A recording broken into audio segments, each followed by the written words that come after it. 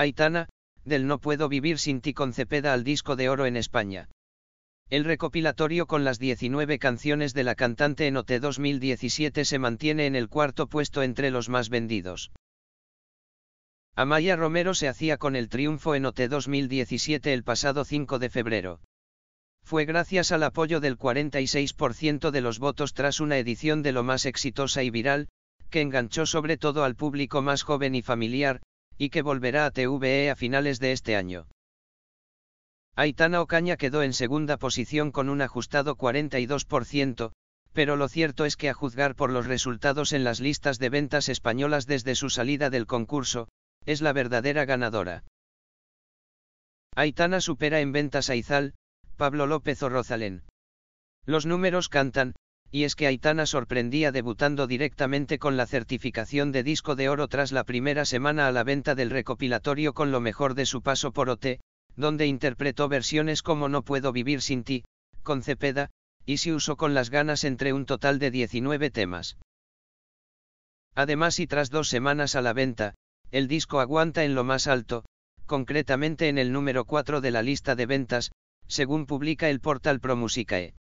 Lo hace por encima de los últimos trabajos de artistas como Izal, su autoterapia está en el número 5, Pablo López, Camino, Fuego y Libertades número 6 ya como disco de platino, Luz Casal, con que corra el aire en el número 7 tras cuatro semanas a la venta, o Rosalén, número 1-0 gracias a Cuando el río suena. Tras 28 semanas en lista y con disco de oro. Sin olvidar el éxito de Lo Malo junto a Anaugor, que esta semana ocupa también el número 4 entre los singles más vendidos, ya con una certificación de disco de platino a sus espaldas por superar las 40.000 descargas legales. Nueva versión y videoclip de Lo Malo de Aitana Ugor.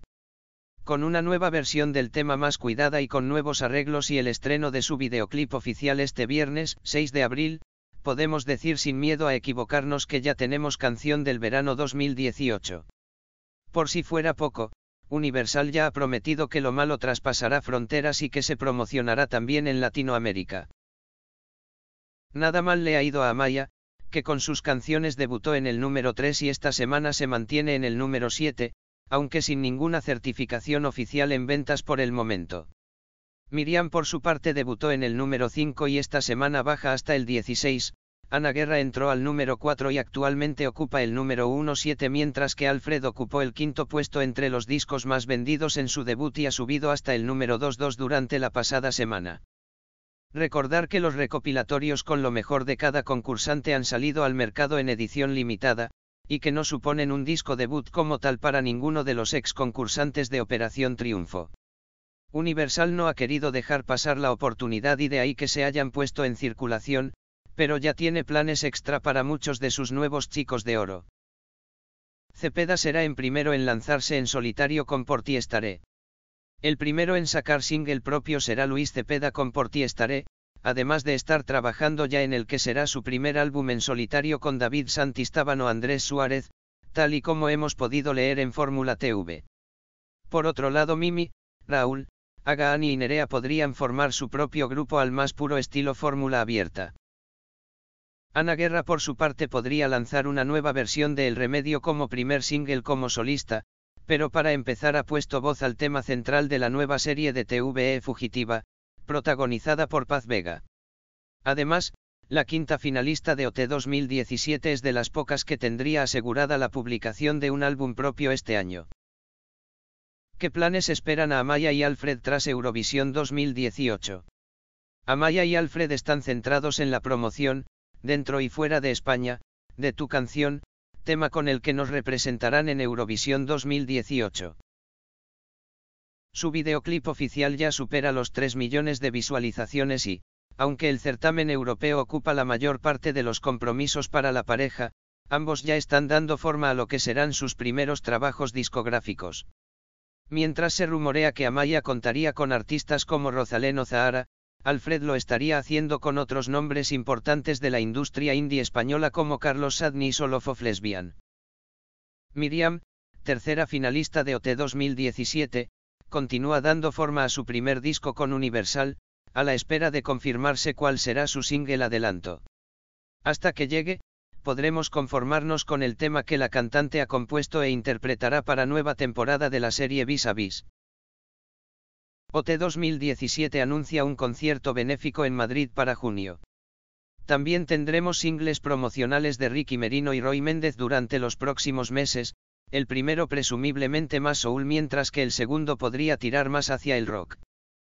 Falta de saber qué ocurrirá con Juan Antonio, segundo expulsado, Talía, tercera expulsada, Marina, cuarta expulsada, o Mirella, sexta expulsada, como cantantes solistas, que tampoco se puede quejar de falta de trabajo durante los últimos meses al ser convocados en varias firmas de discos, actos y conciertos.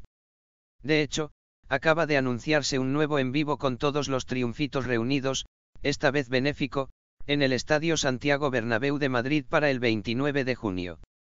Parada que se suma a las ya programadas en Gran Canaria, 29 de mayo, Santa Cruz de Tenerife, 30 de mayo, Sevilla, 2 de junio, a Coruña, 8 de junio, Valladolid, 9 de junio, Valencia, 15 de junio, y Pamplona, 23 de junio, y todo apunta a que esta lista se irá ampliando conforme se acerque el verano. Sin olvidarnos de la protagonista de este artículo, Aitana. Que acaba de desvelar haber grabado una nueva versión de Arde, canción que ya nos conquistó en la preselección Eurovisiva, quedó en tercera posición entre las favoritas del público tras tu canción y lo malo, de hecho, y hará de single de presentación de un disco que, seguramente, supere en ventas al actual y que Aitana ha comenzado a grabar en Los Ángeles.